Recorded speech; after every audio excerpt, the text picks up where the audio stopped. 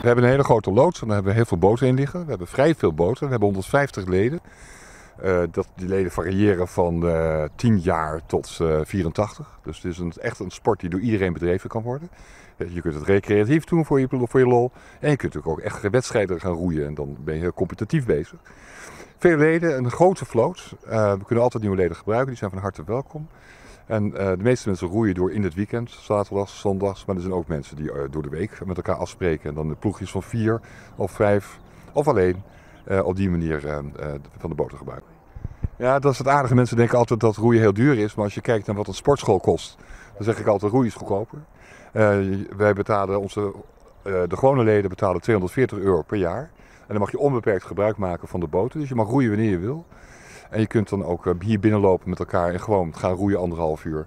En die 240 euro, ja, dat is dus op zichzelf een heel uh, bescheiden bedrag. Als je lang op zo'n bankje moet zitten, ja, kan dat wel eens erg hard zijn. Oh ja. Vandaar dat we dit soort oefeningen doen. Ja. En ik ben helemaal... Ja, dit is wel een makkelijke boot, hoor. Ja. Om in te roeien. Maar. De roeiergometer uh, gebruiken we dus ook veel bij beginnende roeiers voor om de techniek uh, zeg maar, aan te leren. Om goed vanuit de benen, dan de rug en dan de armen het, de roeihaal te maken. De benen zijn de sterkste schakel in het lichaam. En daar moet dus het vermogen wegkomen.